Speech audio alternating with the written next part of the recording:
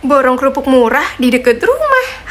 Guys, Assalamualaikum. Gimana layar HP kalian? Kelihatan mendung nggak? Ini real guys, aku nggak bohong. Ini di Tangerang lagi mendung. Jangan-jangan nanti malam hujan. Padahal ya, ini tuh masih sekitar jam setengah 4 sore, tapi langit kelihatan gelap. Dan ini akhirnya aku udah nyampe pasar. Aku tuh mau nyari daun bawang sama ikan peda buat kucing-kucing aku. Kucing aku sebenarnya cuma ada satu, tapi bala tentaranya itu banyak bener setiap hari pada datang. Tapi nggak apa-apa, insya Allah aku ikhlas banget ngasih makan mereka. Sehabis dari pasar harusnya aku langsung pulang, tapi rasanya aku nggak ikhlas banget karena di sini tuh bejajar banget tukang makanan. Nah ini ada tahu pedas. Aku inget banget waktu itu aku pernah mau beli di sini tapi nggak jadi. Kalian tahu gara-gara apa? Gara-gara aku nggak bawa duit. Akhirnya hari ini kesampaian juga aku beli tahu pedas ini. Tapi sayangnya yang isian ayamnya belum mateng guys, masih digoreng. Ya udah kalau gitu aku nungguin deh nggak apa-apa. Kebetulan di belakang abangnya ini ada tempat duduk. Ya walaupun aku harus ngelewatin pagernya tadi. Nggak apa-apa bang, aku tungguin, aku dukung dari belakang. Sementara itu suami aku lengkap dengan kolornya nyamperin ibu penjual es tebu. Kalau diinget-inget kayaknya aku udah lama banget nggak makan es tebu. Eh ini kebetulan banget ada ibu penjual es tebu. Ih aku jadi keinget dulu waktu aku umur 84 bulan atau sekitar 7 tahunan, aku sering banget grogotin tebu. Hah aku yakin nih di antara kalian pasti ada yang belum pernah grogotin tebu. Tapi ya kalau sekarang kalian minta aku grogotin tebu tanpa pisau, kayaknya maaf-maaf deh nggak bisa. yang ada pada nyantol di behel aku. Nah, kalau ini suami aku lagi malakin aku buat bayar es tebunya tadi. Dua cup es tebu ini tadi harganya 10.000 guys. Jadi satu cupnya berapa? Bener banget, 5.000. Kalian lihat nyenengin aku tuh gampang banget. Dibeliin es tebu kayak gini aja, nyengirnya sampai ke gusi-gusi. Lah ditambahin lagi sama tahu pedas ini, masih anget banget. Ya sudah, kalau gitu sebelum makan tahunya, alangkah baiknya kita basahin tenggorokan dulu. Cereces, cereces, cereces masuk ke tenggorokan dan lanjut sekarang aku mau makan tahu pedas. Ya Allah, nyengir aja. Ya sudah, ya sudah. Ayo kita proyek tahu pedasnya. Nah, ini yang isi sayuran. Walaupun yang isi sayuran ini udah diangkat dari wajan dari tadi, tapi masih kerasa panas. Halah, tenang aja. Ini mulut tahan panas, tahan bocor. Jadi nggak apa-apa, langsung aja kita hap. Lanjut. Kresek-kresek-kresek. Sekarang aku ambil yang isi ayam. Ya, kita proyek dulu ini. Kalau dilihat-lihat, ini kayaknya kurang pedes sih. Dan karena yang isian ayam ini baru banget diangkat dari wajan, ini bener-bener panas. Ini mah bukan tahu pedes, tapi hahu.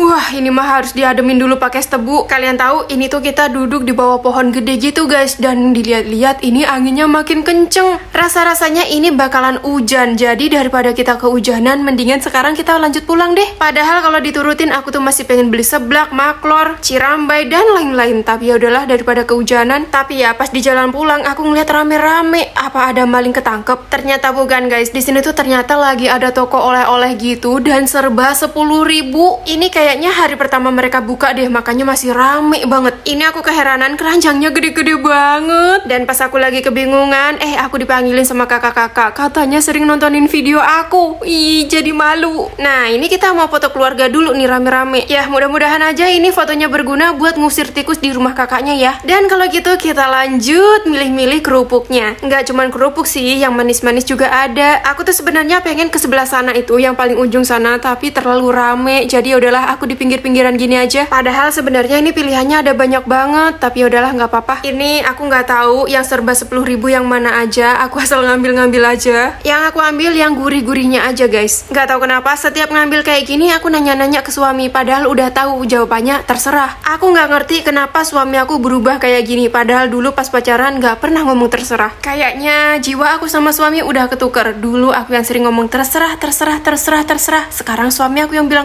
terserah, terserah, terserah. Guys, udahan lah aku ngambil-ngambilnya karena sebelah sana masih rame banget. Dan ya, cukup sekian terima gaji, seginilah yang aku ambil. Ada kulit ayam, ada taruh-taruhan, terus ada kentang-kentangan, ada telur gabus. Dan ternyata di kasir pun kita harus ngantri. Gimana nggak rame? Coba harganya 10 ribuan dengan kantong segede-gede itu. Pas lagi ngeluarin belanjaan, aku ngeliat di samping ada roti kacang. Aku pengen ngambil sebenarnya, tapi nggak jadilah. Karena dari tadi juga suami aku udah bilang, udah yuk, ayo pulang yuk. Aduh, aku yakin banget kalau aku belanja sendirian bakalan kalap dan lama nggak pulang-pulang. Oh ya guys, aku kasih lihat ya. Ini tadi aku ngambil rambut nenek, tapi aku nggak tahu nenek siapa. Setelah ngantri agak lama, sekitar nggak tahu berapa menit, akhirnya sekarang waktunya kita bayar. Pas keluar, langitnya makin gelap. Padahal ini baru jam setengah lima. Biasanya jam segini masih terang benderang banget langitnya. Lagi enak-enaknya suami aku muter-muter gas, eh motornya mogok.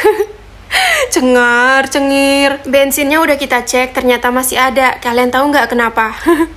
Iya, gara-gara olinya habis. Mentang-mentang motor nggak pernah dipakai perjalanan jauh, jadinya oli nggak pernah diganti-ganti. Kalau motor kita mau di jalan kayak gini, guys, nggak usah emosi, udah disenyumin aja, dicengirin aja. Sementara bapaknya nguras-nguras olinya dan suami aku lagi nguras-nguras tahu goreng. Karena khawatir suami aku kecapean ngunyah, jadi aku bantuin juga deh. Yang kayak gini nih enak nih, nungguin motor di servis sambil kita nyemil. Nggak kerasa tahu-tahu motornya udah jadi dan sekarang mau diisi bensin ya, guys biar dia nggak ngambek-ngambek lagi. Setelah kita baikan sama motornya sekarang kita pulang. Tapi sebelumnya kita mampir dulu. Aku mau beli makanan buat kucing aku. Sekalian aku mau beli pasir buat pipiu. Ih maksudnya beli pasir buat pipiu kucing aku bukan buat aku atau suami aku ya? Nah ini aku udah gembol-gembol pasir udah gembol-gembol makanan. Kalau gitu kita lanjutin lagi perjalanan pulang. Kalian lihat geh itu langitnya bener-bener kayak udah mau jatuh airnya. Dan aku baru keinget kalau aku masih punya satu baju yang lagi dijahit guys. Jadi ya udah udah temenin aku ngambil bajunya ya.